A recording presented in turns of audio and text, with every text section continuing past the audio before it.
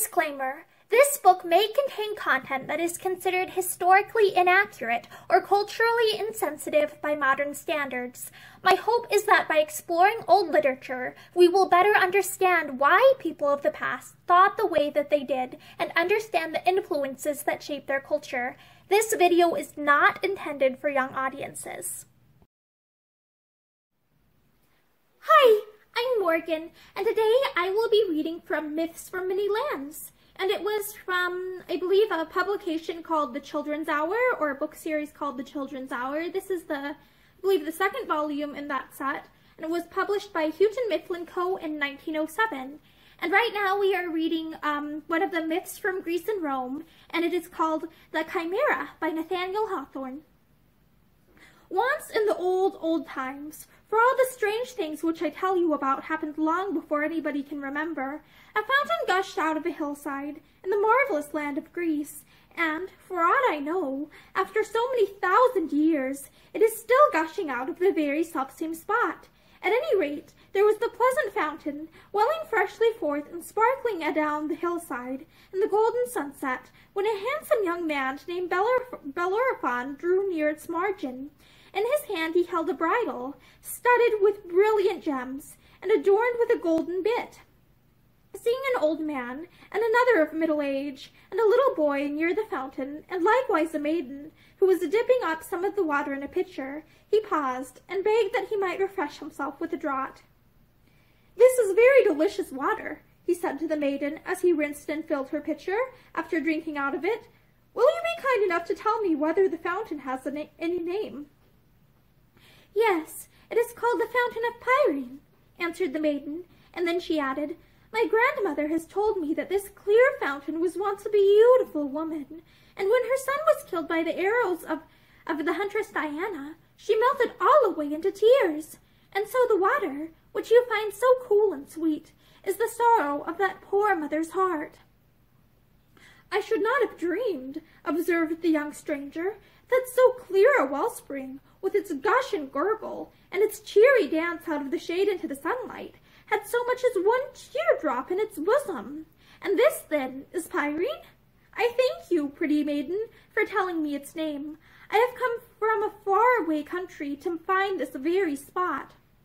A middle-aged country fellow, he had driven his cow to drink out of the spring, stared hard at young at young Bellerophon, and at his hand and at the handsome bridle which he carried in his hand. The water courses must be getting low, friend, in your part of the world, remarked he, if you come so far only to find the fountain of Pirene. But pray, have you lost a horse?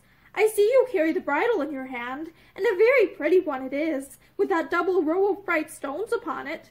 If the horse was, fine, was as fine as the bridle, you are much to be pitied for losing him. I have lost no horse, said Bellerophon, with a smile, but I happen to be seeking a very famous one, which, as wise people have informed me, must be found hereabouts, if anywhere. Do you know whether the winged horse Pegasus still haunts the fountain of Pirene, as he used to do in your forefathers' days? But then the country fellow laughed. Some of you, my little friends, have probably heard that this Pegasus was a snow-white steed with beautiful silvery wings, who spent most of his time time on the summit of Mount Helicon. He was a he was as wild and as swift and as buoyant in his flight through the air as any eagle that ever soared into the clouds. There was nothing else like him in the world. He had no mate. He never had been backed or bridled by a master and, for many a long year, he led a solitary and a happy life. Oh, how fine a thing it is to be a winged horse, sleeping at night, as he did, on a lofty mountain top, and passing the greater part of the day in the air. Pegasus, Pegasus seemed hardly to be a creature of the earth. Whenever he was seen, up very high above people's heads, with the sunshine on his silvery wings, you would have thought that he belonged to the sky, and that, skimming a little too low, he had got astray among our mists and vapors, and was seeking his way back again. It was very pretty to behold him plunge into the fleecy blossom, into the fleecy bosom of a bright cloud, and to be lost in it for a moment or two, and then break forth from the other side. Or, in a sullen rainstorm, when the when there was a gray pavement of clouds over the whole sky, it would sometimes happen that the winged horse descended right through it, and the glad light and the glad light of the upper region would gleam after him. In another instant, it is true, both Pegasus and the pleasant light would be gone away together. But any one that was fortunate enough to see this wondrous spectacle felt cheerful the whole day afterwards, and as much longer as the storm lasted. In the summer-time, and in the beautifulest of weather, Pegasus often, often alighted on the solid earth, and, closing his silvery wings, would gallop over hill and dale for pastime, as, as fleetly as the wind. Oftener than in any other place, he, he had been seen near the fountain of Pirene, drinking the delicious water, or rolling himself upon the soft grass of the margin. Sometimes, too, but Pegasus was very, very dainty in his food, he would crop a few of the clover blossoms that happened to be the sweetest. To the fountain of Pirene, therefore, people's great-grandfathers had been in the habit of going, as long as they were youthful, and retained their faith in winged horses, in hopes of getting a glimpse of the beautiful Pegasus. But of late years he had been very seldom seen. Indeed, there were many of the country folks, dwelling within half an hour's walk of the fountain, who had never beheld Pegasus, and did not believe that there were that there was any such creature in existence. The country fellow to whom Bellerophon was speaking chanced to be one of those incredulous persons, and that was the reason why he laughed. Pegasus, indeed, cried he, turning up his nose as high as such a flat nose could be turned up. Pegasus, indeed! A winged horse? Truly? My friend, are you in your senses? Of what use would wings be to a horse? Could he drag the plough so well, thank you? To be sure, there might be a little saving in the expense of shoes, but then how would a man like to see his horse flying out of the stable window? Yes, or whisking him up above the clouds, when he only wanted to ride to ride to mill. No, no, I don't believe in Pegasus. There never was such a ridiculous kind of a horse fowl made. I have some reason to think otherwise, said Bellerophon quietly. And then he turned to an old gray man who was leaning on a staff and listening very attentively, with his head stretched forward and one hand at his ear, because, for the last twenty years, he had been getting rather deaf. And what say you, venerable sir? inquired he. In your younger days, I should imagine, you must frequently have seen the winged steed. Ah, young stranger, my memory is very poor, said the aged man. When I was a lad, if I remember rightly, I used to believe there was such a horse, and so did everybody else. But nowadays I hardly know what to think, and very seldom think about the winged horse at all. If I ever saw the creature, it was a long, long while ago, and, to tell you the truth, I doubt whether I ever did see him. One day, to be sure, when I was quite a youth, I remember seeing some hoof tramps round about the brink of the fountain. Pegasus might have made those hoof marks, and so might, and so might some other horse. And have you never seen him, my fair maiden? asked Bellerophon of the girl, who stood with a pitcher on her head while, he, while this talk went on. You certainly could see Pegasus, if anybody can, for your eyes are very bright. Once I thought I saw him, replied the maiden, with a smile and a blush. It was either Pegasus or a large white bird, a very great, great way up in the air. And at one time, and at one other time, as I was coming to the fountain with my pitcher, I heard a neigh. Oh, such a brisk and melodious neigh as that was! My very heart leapt with, a, with delight at the sound, but it startled me, nevertheless, so that I ran home without filling my pitcher. That was truly a pity, said Bellerophon, and he turned to the child, whom I mentioned at the beginning of the story, and who was gazing at him, as children are apt to, do, apt to gaze at strangers, with his rosy mouth wide open. Why, my little fellow, cried Bellerophon, playfully pulling one of his curls, I suppose you have often seen the winged horse. That I have, answered the child very readily. I saw him yesterday, and many times before. You are a fine little man, said Bellerophon, drawing the child closer to him. Come, tell me all about it. Why, replied the child, I often come here to sail little boats in the fountain, and to gather pretty pebbles out of its basin. And sometimes, when I look down into the water, I see the image of the winged horse and the picture of the sky that is there. I wish he would come down and take me on his back and let me ride him up to the moon. But if I so much as stir to look at him, he flies far away out of sight. And Bellerophon put his faith into the child, put his faith in the child, who had seen the image of Peg Pegasus in the water, and in the maiden, who had heard him neigh so melodiously, rather than in the middle-aged clown, who believed only in cart horses, or in the old man, who had forgotten the beautiful things of his youth. Therefore, he haunted about the fountain of Pirene for a great many days afterwards. He kept continually on the watch, looking upward at the sky, or else down into the water, hoping forever that he should see either the reflected image of the winged horse or the marvelous reality. He held the bridle, with its bright gems and golden bit, always ready in his hand. The rustic people who dwelt in the neighborhood and drove their cattle to the fountain to drink would often laugh at poor Bellerophon and sometimes take him pretty severely to task. They told him that an able-bodied young man, like himself, ought to have better business than to be wasting his time in such an idle pursuit. They offered to sell him a horse, if he wanted one, and when Bellerophon declined the purchase, they tried to drive a bargain with him for his fine bridle.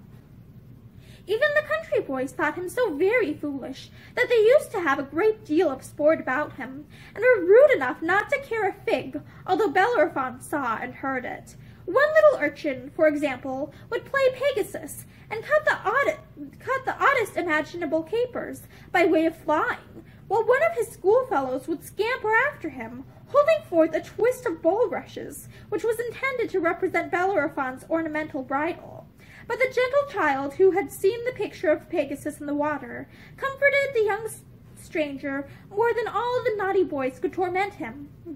The dear little fellow, in his play hours, often sat down beside him, and, without speaking a word, would look down into the fountain and up towards the sky, with so innocent a face that Bellerophon could not help feeling encouraged.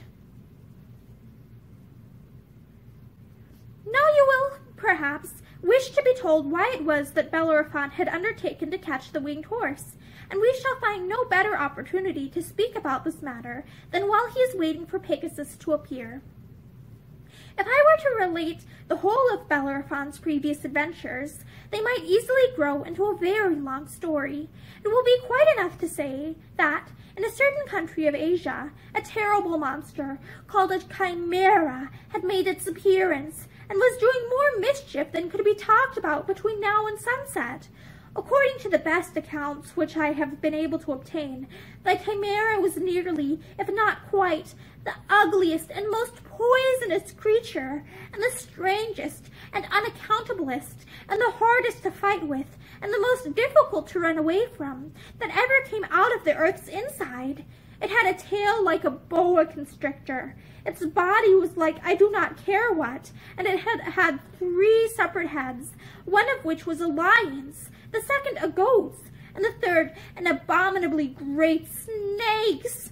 And a hot blast of fire came flaming out of each of its three mouths. Being an earthly an earthly monster, I doubt whether it had any wings, but wings or no, it ran like a goat and a lion, and wriggled along like a serpent, and thus contrived to make about as much speed as all three together.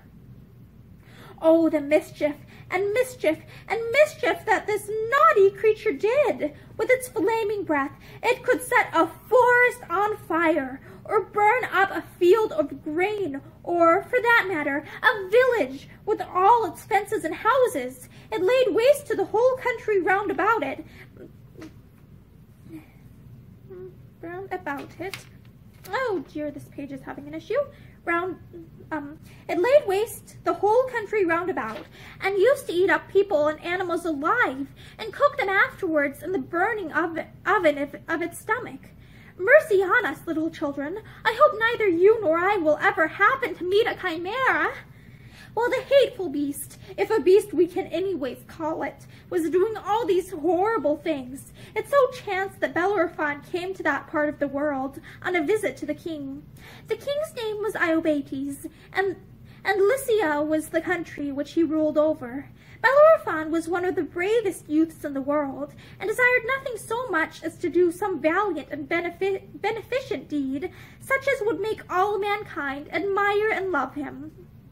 In those days, the only way for a young man to distinguish himself was by fighting battles, either with the enemies of his country, or with wicked giants, or with troublesome dragons, or with wild beasts, when he could find nothing more dangerous to encounter.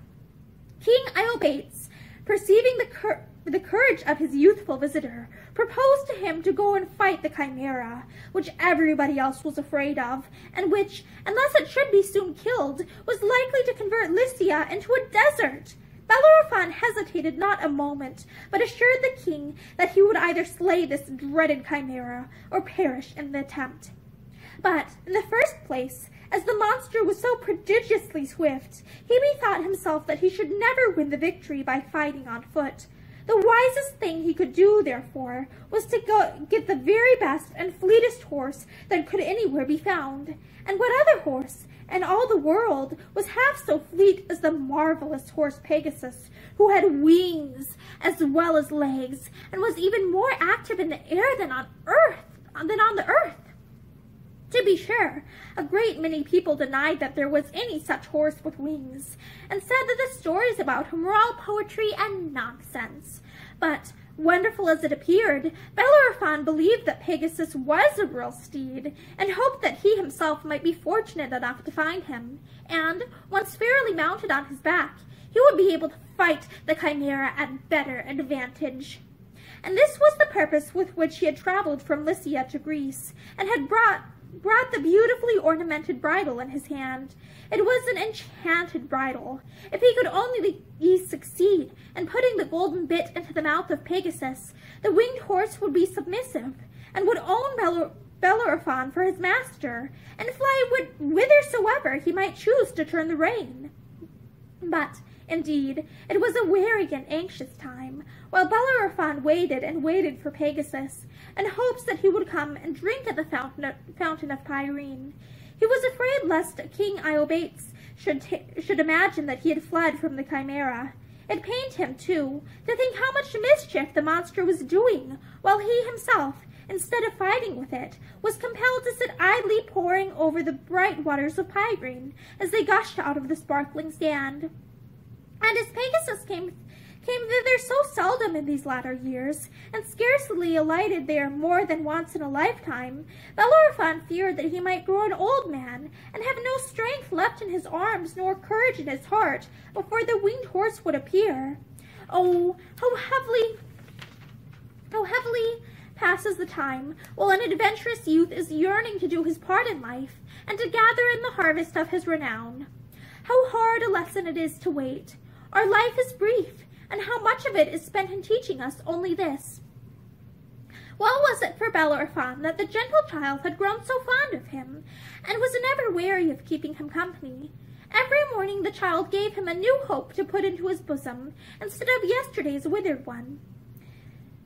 Dear Bellerophon, he would cry, looking up hopefully into his face, I think we shall see Pegasus today. And, at length, if it had not been for the little boy's unwavering faith, Bellerophon would have given up all hope and would have gone back to Lycia and be and have done his best to slay the chimera without the help of the winged horse. And in that case, poor Bellerophon would at least have been terribly scor scorched by the creature's breath, and would most probably have been killed and devoured. Nobody should ever try to fight an earth-born chimera, unless he can first get upon the back of an aerial steed.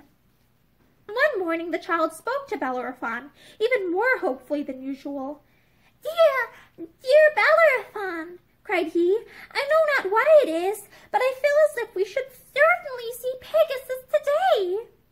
And all that day he would not stir a step from Bellerophon's side, so they ate a crust of bread together, and drank some of the water of the fountain. In the afternoon, there they sat, and Bellerophon had thrown his arm around the child, who likewise had put one of his little hands in, into Bellerophon's. The latter was lost in his own thoughts, and was fixing his eyes vacantly on the trunks of the trees that overshadowed the fountain, and on the grapevines that clambered up among their branches. But the gentle child was gazing down into the water. He was grieved, for Bellerophon's sake, that the hope of another day should be deceived, like so many before it, and two or three quiet teardrops fell from his eyes, and mingled with what were said to be the many tears of Pirene, when she wept for her slain children. But, when he least thought of it, Bellerophon felt the pressure of the child's little hand, and heard a soft, almost breathless whisper, See there! Dear Bellerophon! There is an image in the water! The young man looked down into the dimpling mirror of the fountain and saw what he took to be the great and saw what he took to be the reflection of a bird which seemed to be flying at a great height in the air, with a gleam of sunshine on its snowy or silvery wings.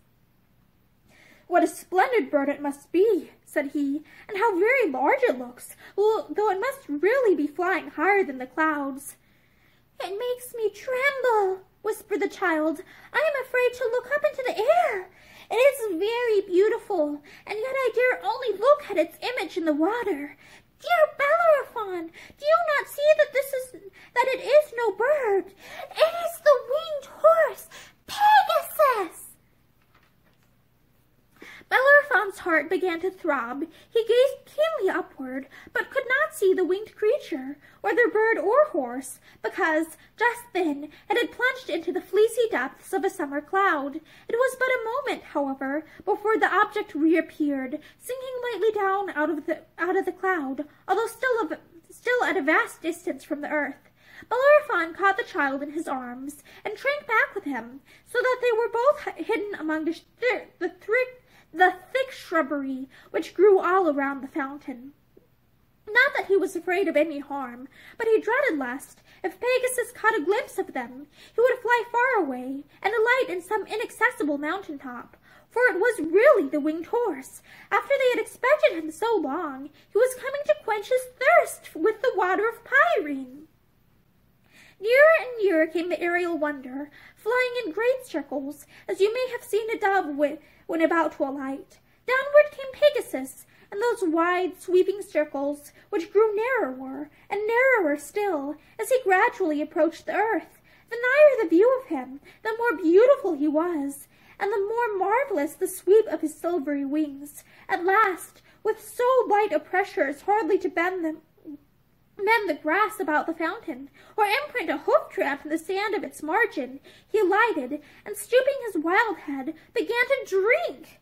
He drew in the water with long and pleasant sighs, and tranquil pauses of enjoyment, and then another draught, and another, and another, for nowhere in the world, or up among the clouds, did Pegasus love any water, water as he loved this of Pirene.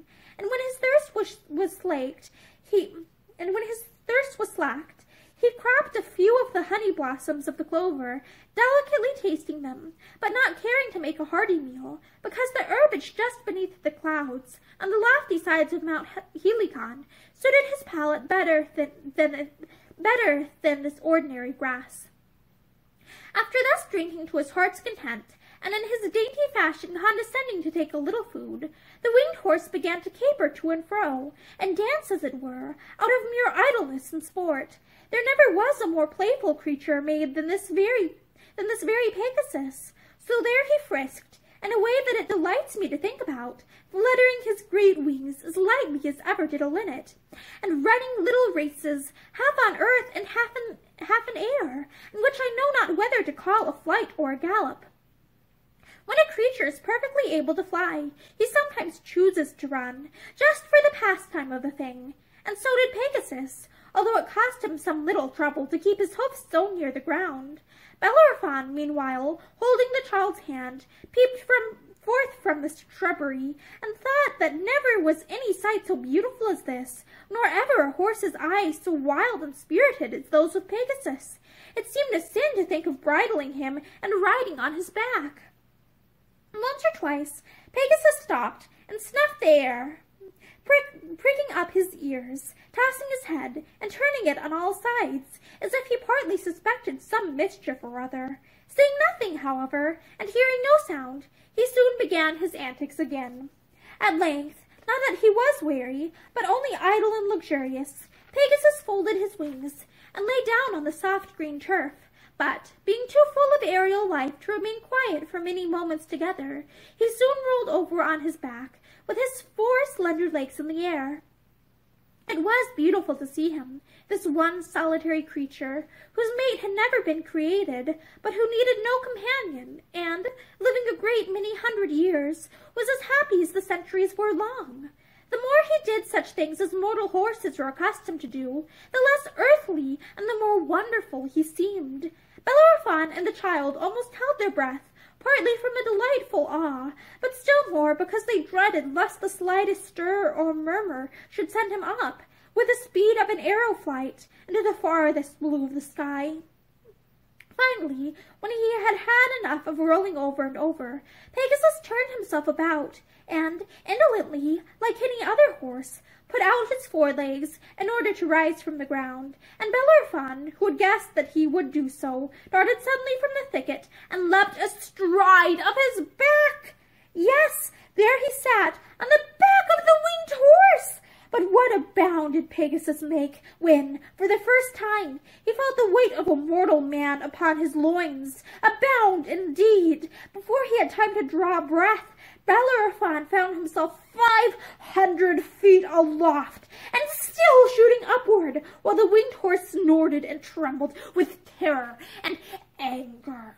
Upward he went, up, up, up, until he plunged into the cold, misty bosom of a cloud, at which, only a little while before, Bellerophon had been gazing and fancying it a very pleasant spot. And then again, out of the heart of the cloud, Pegasus shot down like a thunderbolt, as if he meant to dash both himself and his rider headlong against a rock. Then he went through with about a thousand of the wildest caprioles that had ever been performed either by a bird or a horse. I cannot tell you half that he did. He skimmed straight forward and sideways and backward. He reared, he reared himself erect, with his forelegs on a wreath of mist, and his hind legs on nothing at all. He flung out his heels behind, and put down his head between his legs, with his wings pointing right upward. At about two miles height above the earth, he turned a somerset, so that Bellerophon's heels were where his head should have been, and he seemed to look down into the sky instead of up. He twisted his head about, and, looking Bellerophon in the face, with fire flashing from his eyes, made a terrible attempt to bite him. He fluttered his pinions so wildly that one of the silver feathers was shaken out, and floating earthward, was picked up by the child, who kept it as long as he lived, in memory of Pegasus and Bellerophon. But the latter, who, as you may judge, was as good a horseman as ever galloped, had been watching his, his opportunity, and at last, and at last clapped the golden bit of the enchanted bridle between the winged steed's jaws. No sooner was this done than Pegasus became as manageable as if he had taken food all his life out of Bellerophon's hand. To speak what I really feel, it was almost a sadness to see so wild a creature grow suddenly so tame and Pegasus, Pegasus seemed to feel it so, likewise. He looked round to Bellerophon, with the tears in his beautiful eyes, instead of the fire that so recently flashed from them. But when Bellerophon patted his head, and spoke a few authoritative, authoritative, yet kind and soothing words, another look came into the eyes of Pegasus, for he was glad at heart, after so many lonely centuries, to have found a companion and a master. Thus it always is with winged horses, and with all such wild and solitary creature. Thus it always is with winged horses, and with all such wild and solitary creatures. If you can catch and overcome them, it is the surest way to win their love. While Pegasus had been doing his utmost to shake Bellerophon off his back, he had flown a very long distance, and they had come within sight of a lofty mountain by the time the bit was in his mouth. Bellerophon had seen this mountain before, and knew it to be Helicon, on the summit of which was the winged horse's abode. Thither, after looking gently into his rider's face, as if to ask leave, Pegasus knew, now flew, and, alighting, waited patiently until Bellerophon should please to dismount. The young man, accordingly, leapt from his steed's back, but still held him fast by the bridle. Meeting his eyes, however, he was so affected by the gentleness of his aspect, and by the thought of the, the free life which Pegasus had heretofore lived, that he could not bear to keep him a prisoner, if he really desired his liberty. Obeying this generous impulse, he slipped the enchanted bridle off the head of Pegasus and took the bit from his mouth. Bit from his mouth. "Leave me, Pegasus," said he. "Either leave me or love me." And here is an illustration, and it says a thousand miles a day was an easy pace, and it has it has Bellerophon sitting on the on the Pegasus, and it shows the bridle on him, and the horse's mouth is open. Leave me, Pegasus, said he. Either leave me or love me. In an instant, the winged horse shot almost out of sight, soaring straight upward from the summit of Mount Helicon. Being long after sunset, it was now twilight on the mountain top, and dusky, dusky evening over all the country round, round about. But Pegasus flew so high that he overtook the departed day, and was bathed in the upper radiance of the sun. Ascending higher and higher, he looked like a bright speck, and at last could no longer be seen in the hollow waste of the sky. And Bellerophon was afraid that he should never behold him more. But while he was lamenting his own folly, the bright speck reappeared and drew nearer and nearer until it descended lower than the sunshine. And behold, Pegasus had come back. After this trial, there was no more, more fear of the winged horse's making his escape. He and Bellerophon were friends, and put loving faith in one another. That down and slept together, with Bellerophon's arm about the neck of Pegasus, not as a caution, but for kindness, and they awoke at peep of day, and bade one another good morning, each in his own language. In this manner Bellerophon and the wondrous steed spent several days, and grew better acquainted and fonder of each other all the time. They went on long aerial journeys, and sometimes ascended so high that this earth looked hardly bigger than the moon. They visited distant countries and amazed the inhabitants, who thought that the young that the beautiful young man on the back of the winged horse must have come down out of the sky. A thousand miles a day was no more than an easy space for the fleet for the fleet Pegasus to pass over. Bellerophon was delighted with this kind of life, and would have liked nothing better than to live always in the same way, aloft in the clear atmosphere, for it was always sunny weather up there, however cheerless and rainy it might be in the lower region. But he could not forget the horrible chimera, which he had promised King Iobates to slay. So, at last, when he had become well accustomed to feats of horsemen, horsemanship in the air, and could manage Pegasus with the least motion in his hand, and had taught him to obey his voice, he determined to attempt the performance of this perilous adventure. At daybreak, therefore, as soon as he unclosed his eyes, he gently pinched the winged horse's ear, in order to arouse him. Pegasus immediately started from the ground, and pranced about a quarter of a mile aloft, and made a grand sweep around the mountain top, by way of showing that he was wide awake, and ready for any kind of excursion. During the whole of this little flight, he, he uttered a loud, brisk, and melodious neigh, and finally came down at Bellerophon's side, as lightly as ever you saw a sparrow hop upon a twig. Well done, dear Pegasus, well done, my sky skimmer, cried Bellerophon, fondly stroking the horse's neck. And now, my fleet and beautiful friend, we must break our fast. Today we are to fight the terrible Chimera.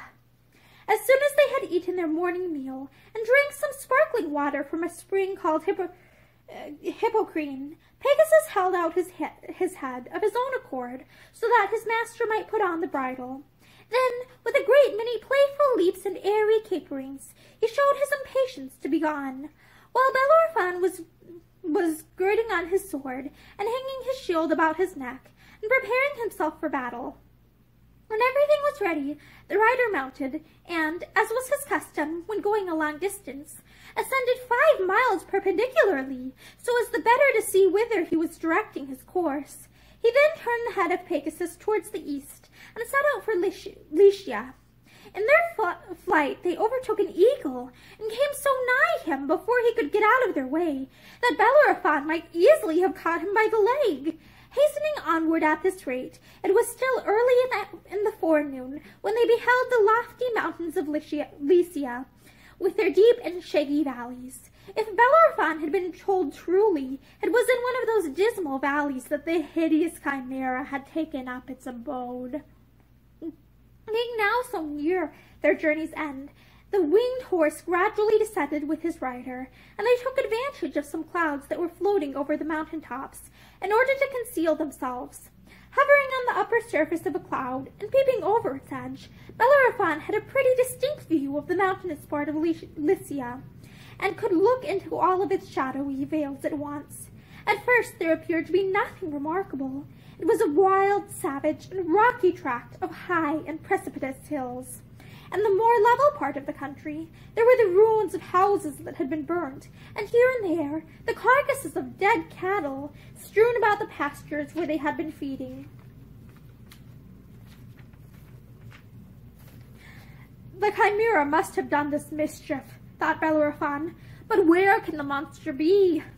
As I have already said, there was nothing remarkable to be detected at first sight in any of the valleys and dells that lay among the precipitous heights of the mountains. Nothing at all, unless, indeed, it were three spires of black smoke, which issued from what seemed to be the mouth of a cavern, and clambered sullenly into the atmosphere. Before reaching the mountain top, these three black smoke wreaths mingled themselves into one. The cavern was almost directly beneath beneath the winged horse and his rider, at the distance of about a thousand feet. The smoke, as it crept heavily upward, had an ugly, sulphurous, stifling scent, which caused Pegasus to snort and Bellerophon to sneeze. So disagreeable was it to the marvelous steed, who was accustomed to breathe only the purest air, that he waved his wings and shot half a, shot half a mile out of the range of this offensive vapor. But, on looking behind him, Bellerophon saw something that induced him to induced him first to draw the bridle and then to turn Pegasus about. He made a sign which the winged horse understood and sunk slowly through the air until the hoofs were scarcely more than a man's height above the rocky bottom of the valley. In front, as far off as you could throw a stone, was the cavern's mouth, with the three smoke wreaths oozing out of it. And what else did Bellerophon behold there? There seemed to be a heap of strange and terrible creatures curled up within the cavern. Their bodies lay so close together that Bellerophon could not distinguish them apart. But, judging by their heads, one of these creatures was a huge snake. The second, a fierce lion. And the third, an ugly goat. The lion and the goat were asleep. The snake was broad awake and kept staring around him with a great pair of fiery eyes. But, and this was the most wonderful part of the matter, the three spires of smoke evidently issued from the nostrils of these three heads. So strange was the spectacle that, though Bellerophon had been all along expecting it, the truth did not immediately occur to him that here was the terrible three-headed chimera, he had found out the chimera's cavern. The snake, the lion, and the goat, as he supposed them to be, were not three separate creatures, but one monster. The wicked, hateful thing! Slumbering as two-thirds of it were, it still held in its abominable claws the remnant of an unfortunate lamb, or possibly, but I hate to think so, it was a dear little boy which its three mouths had been gnawing before two of them fell asleep. All at once, Bellerophon started as from, a, as from a dream and knew it to be the chimera. Pegasus seemed to know it at the same instant and sent forth a neigh that sounded like the call of a trumpet to battle. At this sound, the three heads reared themselves erect and belched out great flashes of flame. Before Bellerophon had time to consider what to do next, the monster flung itself out of the cavern and sprang straight towards him, with its immense claws extended and its snaky tail twisting itself venomously behind. If Pegasus had not been as nimble as a bird, both he and his rider would have been overthrown by the chimera's, chimera's headlong rush, and thus the battle would the battle have and thus the battle have been ended before it was well begun. But the winged horse was not to be caught so. In the twinkling of an eye, he was up aloft, halfway to the clouds, snorting with anger. He shuddered too, not with affright, but with utter disgust at the loathsome and poisonous thing with, the, with three heads. The chimera, on the other hand, raised itself up so as to stand absolutely on the tip end of its tail, with its talons pawing fiercely in the air, and its three heads spluttering fire at Pegasus and his rider. My stars! How it roared and hissed and bellowed! Bellerophon, meanwhile, was fitting his shield on his arm and drawing his sword. Now, my beloved Pegasus, he whispered in the winged horse's ear, thou must help me to slay this insufferable monster, or else thou shalt fly back to the solitary mountain peak without thy friend Bellerophon. For either the chimera dies, or its three mouths shall gnaw this head of mine, which has slumbered upon thy neck. Pegasus whinnied, and, turning back his head, rubbed his nose tenderly against his rider's cheek. It was his way of telling him that, though he had wings and was an immortal horse, yet he would perish, if it were possible for immortality to perish, rather than leave Bellerophon behind. I thank you, Pegasus, answered Bellerophon. Now then, let us make a dash at the monster. Uttering these words, he shook the bridle, and Pegasus darted down a slant, as swift as the flight of an arrow, right towards the chimera's threefold head, which, all this time, was poking itself as high as it could into the air. As he came within arm's length, Bellerophon made a cut at the monster, but was carried onward by his steed, before he could see whether the blow had been successful. Pegasus continued his course, but soon wheeled round, at about the same distance from the chimera as before. Bellerophon then perceived that he had cut the goat's head off, the goat's head of the monster almost off, so that it dangled downward by the skin, and seemed quite dead. But, to make amends, the snake's head and the lion's head had taken all the fierceness of of the dead one into themselves, and spit flame, and hissed, and roared with a vast deal more fury than before.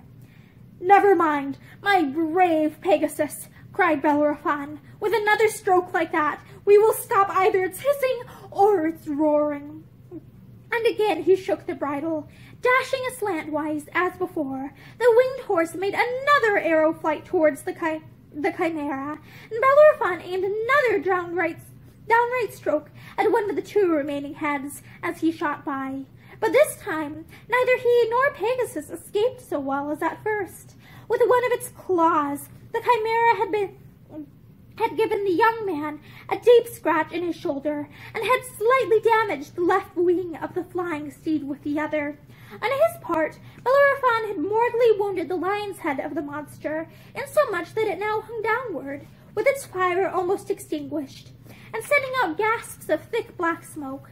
The snake's head, however, which was the only one now left, was twice as fierce and venomous as ever before, and belched forth shoots of fire five hundred yards long, and emitted hisses so loud, so harsh, and so ear-piercing that King Iobates heard them fifty miles off and trembled till the throne shook under him. Well a day, thought the poor king, the chimera is certainly coming to devour me. Meanwhile, Pegasus had again paused in the air and neighed angrily, while sparkles of a pure crystal flame darted out of his eyes. How unlike the lurid fire of the chimera! The aerial steed spirit was all aroused, and so was that of Bellerophon. Dost thou bleed, my immortal horse? cried the young man, caring less for his own hurt than for the anguish of this glorious creature that ought never to have tasted pain. The execrable chimera shall pay for this mischief with his last head. Then he shook the bridle, shouted, loud, shouted loudly, and guided Pegasus, not as slantwise as before, but straight at the monster's hideous front. So rapid was the onset that it seemed but a dazzle and a flash before Bellerophon was at close grips with his enemy. The Chimera, by this time, after losing its second head, had got into a red-hot passion of pain and rampant rage. It so flounced about, half on earth and partly in the air, that it was impossible to say which element it rested upon. It opened its snake jaws to such an abominable width that Pegasus might almost, I was going to say, have flown right down its throat, wings outspread, rider and all. At their approach, it shot out a vent, it shot out a tremendous blast of its fiery breath and enveloped Bellerophon and his steed in a perfect atmosphere of flame, singeing the wings of Pegasus, scorching off one whole side of the young man's golden ringlets, and making them both far hotter than was comfortable from head to foot. But this was nothing to what followed. When the airy rush of the winged horse had brought him within the distance of a hundred yards, the chimera gave a spring and flung its huge, awkward, venomous, and utterly detestable carcass right upon poor Pegasus, clung round him with might and main, and tied up its snaky tail into a knot. Up flew the aerial steed, higher, higher, higher, above the mountain peaks, above the clouds, and almost out of sight of the solid earth. But still the earth-born monster kept its hold and was borne upward along with the creature of light and air.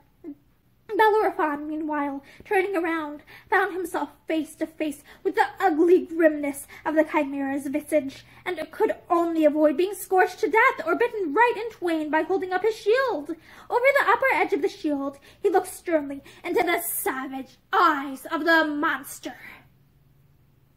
But the chimera was so mad and wild with pain that it did not guard itself so well as might else have, as might else have been the case. Perhaps, after all, the best way to fight a chimera is by getting as close to it as you can.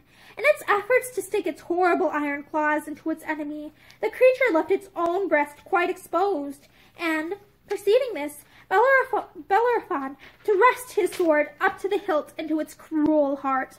Immediately the snaky tail untied its knot. The monster let go its hold of, of its hold of Pegasus and fell from that vast height downward, while the fire within its bosom, instead of being put out, burned fiercer, fiercer than ever, and quickly began to consume the dead carcass. Thus it fell out of the sky, all aflame, it being nightfall before it reached, and it being nightfall before it reached the earth was mistaken for a shooting star or a comet. But at early sunrise, some cottagers were going to their day's labor and saw, to their astonishment, that several, acre, several acres of ground were strewn with black ashes. In the middle of a field, there was a heap of whitened bones, a great deal higher than a haystack. Nothing else was ever seen of the dreadful chimera. And when Bellerophon had won the victory, he bent forward and kissed Pegasus, while the tears stood in his eyes.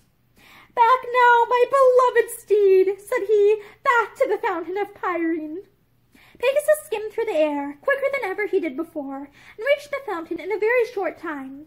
And there he found the old man leaning on his staff, and the country fellow watering his cow, and the pretty maiden filling her pitcher. I remember now, quoth the old man. I saw this winged horse once before, when I was quite a lad, but he was ten times handsomer in those days. I own a cart horse worth three of him, said the country fellow. If this pony were mine, the first thing I should do would be to clip his wings. But the poor maiden said nothing, for she had always the luck to be afraid at the wrong time, so she ran away and let her pitcher tumble down and broke it. Where's the gentle child? asked Bellerophon, who used to keep me company, and never lost his faith, and never was weary of gazing into the fountain. Here am I, dear Bellerophon, said the child softly, for the little boy had spent day after day on the margin of Pirene, waiting for his friend to come back. But when he perceived Bellerophon descending through the clouds, mounted on the winged horse, he had shrunk back into the shrubbery. He was a delicate and tender child, and dreaded lest the old man and the country fellow should see the tears gushing from his eyes. Thou hast won the victory, said he, joyfully running to the knee of Bellerophon, who still sat on the back of Pegasus. I knew thou wouldst. Yes, dear child, replied Bellerophon, alighting from the winged horse. But if thy, but if thy faith had not helped me, I should never have waited for Pegasus, and never have gone up above the clouds, and never have conquered the terrible Chimera. Thou, my beloved little friend, hast done it all, and now let us give Pegasus his liberty. So he slipped off the enchanted bridle from the head of the marvelous steed. Be free forevermore, my Pegasus, cried he, with a shade of sadness in his voice. Be as free as, as thou art fleet. But Pegasus rested his head on Bellerophon's shoulder, and would not be persuaded to take flight.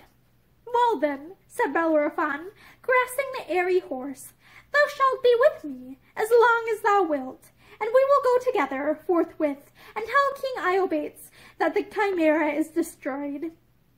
Then Bellerophon embraced the gentle child and promised to come to him again and departed.